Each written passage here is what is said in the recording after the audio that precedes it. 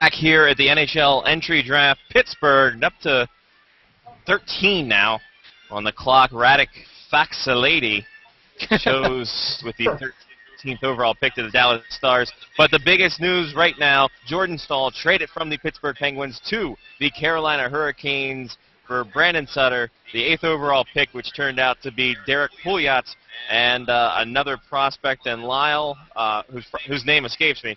Uh, the the the ratifications, ratifications. That's not what I'm looking Yeah, for. yeah, yeah. Is it The ratifications? annexation, the annexation of Puerto Rico. Let's go with that. Yeah. What what mean this trade going to do for other people? How that? well, uh, first of all, I'll get you the diagram next second for me, and then we'll uh, we'll go on from there. Um, no, this this was uh, this was uh, as you can say, it's a blockbuster. It's a huge, you know, it's a huge deal. Um, you guys hear me okay? Yeah, uh, it, people are just clapping here, so if you could maybe speak up a little bit louder. Okay, how's this? Better? That's much better. All right. Yeah, uh, this, as I said, it's it's definitely so far it's the blockbuster of the night. Uh, you know, unless say Rick Nash or Bobby Ryan move, uh, or Roberto Luongo, this was it. I mean, so much for Ray Shero not uh, trading guys on their wedding night. Uh, but anyway, um, but yeah, it, but honestly, as as an analyst has said, I mean, this is a move that Sherrill had no choice to make. I mean. Staal turned down a 10-year, $60 million contract extension yesterday. Uh, made it clear that you know what is that makes it pretty much clear what his intentions were going to be. It was widely believed that uh, even if he was traded to another team, not called Carolina, uh, he wouldn't re-sign with them after next season when he would be an unrestricted free agent. The only team he wanted to go to was Carolina to play with his brother Eric. So they decided to to do the move now, and it's a good deal I think for both clubs. Um, you know, let's face it, Jordan Staal, he was never going to move up uh, into either the top, you know, top line or the second line, you know, with Malkin and, and Crosby there. So, I mean, he, he had to move on to a team where he was going to get that chance, and he will get that chance now uh, in Carolina. I mean, it remains to be seen if he ends up, uh, you know, playing on Eric's line or if he winds up centering the second line. I mean, that's going to be up to Kirk Muller. But let's face it, I think Muller's going to try the try the brothers there uh, on the same line and, and see how it goes. Uh, but for the Penguins, you know, they get something good back in return. I mean, uh, Brandon Sutter is a proven third line uh, checking center. He's not going to be, uh, you know, harping about wanting to move up or anything like that. He's perfect for that role. So now they can roll with Crosby and Malkin in their top two, and and just go from there. And uh, you know they wound up with the eighth overall pick, so uh, you know they're able to get themselves uh, a good, de- you know, a good defenseman in there as well, and uh, a prospect, and it frees up uh, significant cap space, uh, which they could use perhaps maybe to get into uh, a bidding war for uh, Zach Parise, or maybe they pursue uh, somebody uh, by a maybe maybe by a trade, maybe they get into the Bobby Ryan stuff. Maybe they get into uh, Rick Nash, or maybe they do a swerve and they sign Alex Semin. Dun dun dun.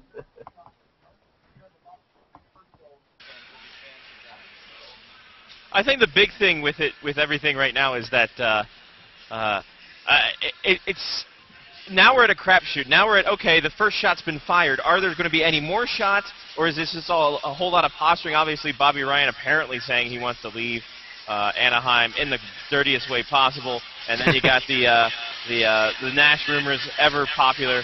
Uh, what do you think, Lau? Can we see a lot more fireworks here? We're not even halfway through the draft board, and yeah, we're getting salvo after salvo, but right now it's just blanks. Are we going to see another big rocket ship, or I don't know? Give me some another uh, ammo analogy that we can use here. I mean, but should I stick around for the last part of the draft? Is what I'm saying.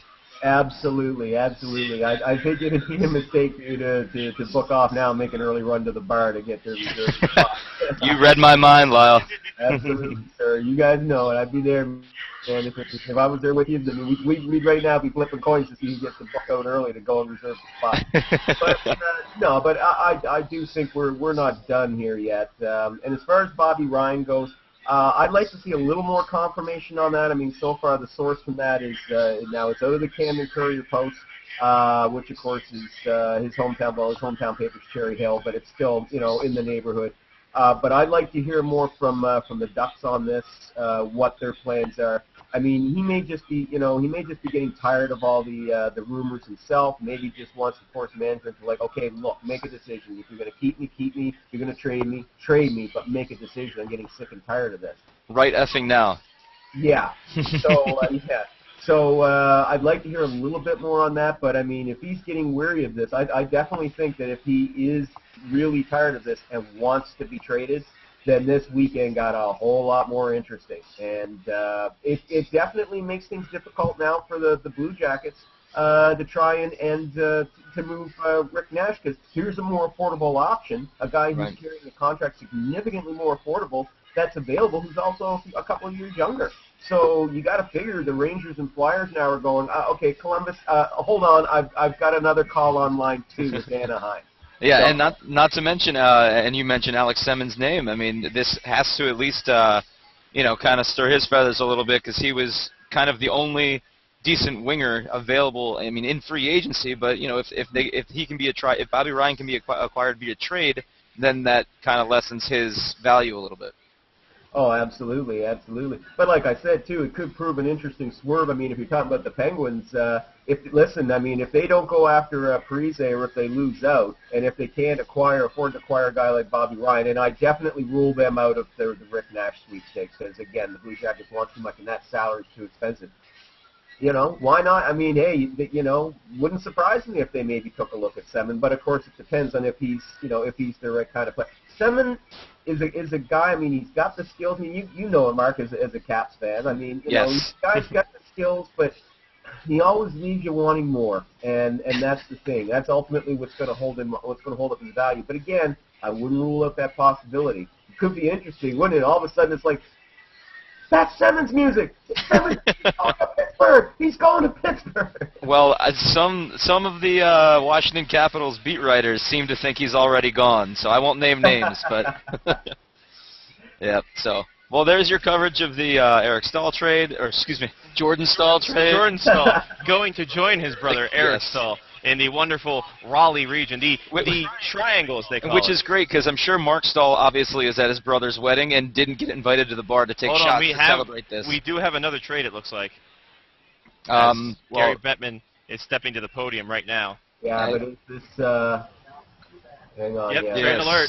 Trade alert, according to and and we will try to talk through No, this one because I noticed in the last one that Here we go. rumored to be moving their pick. Hang on. yes, Just wait. Calgary is trading their pick number 14 to Buffalo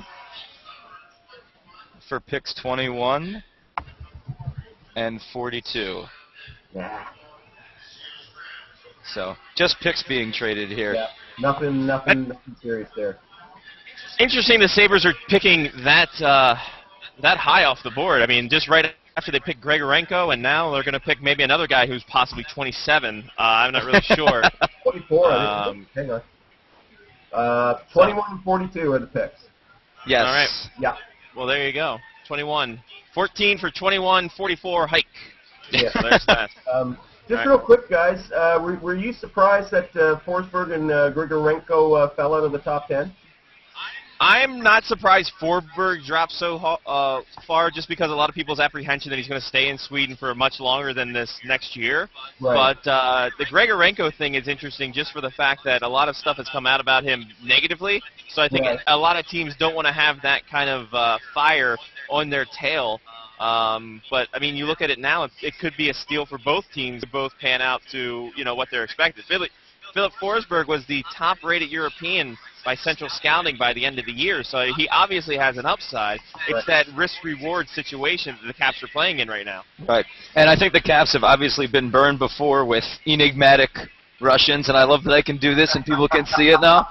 Uh, with uh, Kuznetsov staying in Russia, I mean, and, and this is obviously a different situation since um, Grigorenko is is playing in Canada, but you can never you can never be too sure. And I guess with uh, with Forsberg, I felt that they probably felt that they had a more um, they had a better chance of, of bringing him over and, and having him actually contribute to the team. So Yeah. who knows? Yeah, and and the thing too, I mean that that thing with Grigorenko, uh, the thing to remember too, it was reported. I mean, people were pointing out the, uh, yeah, uh, hang on, What was that, Lau? Uh, just seeing what the who the Sabres were picking there. Uh, but uh, yeah, I mean, uh, the thing with Grigorenko was uh, there was there was a lot of negativity about his performance in the, in the, the, the Quebec Major Junior Hockey playoffs. But it turned out the the reason for his lack of energy in that was that he had mononucleosis. You know, and if you've ever had mono, I mean that that kicks the stuffing out of you for Yeah. a while. So yeah, so that explains that. So, so yeah, I mean it'd be interesting to see how it works out. But those two could end up being steals for those two respective teams, no question. Especially Absolutely. for uh, yeah, well, especially I mean, hey, for the Capitals, you're getting the you know Forsberg, who you know can play with Backstrom, or at least Backstrom can, can be there maybe to be kind of as uh, as a mentor as well. So that's all good too. Absolutely. As the Buffalo Sabres pick the Latvian sensation from another nation, Zemis Grigorason.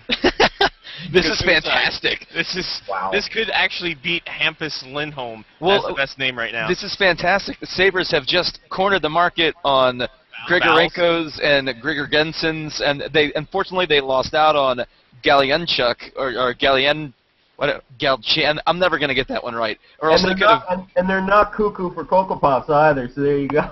no, sad part. Oh, So- all right. Well, wow, it's it's been real. It's been fun.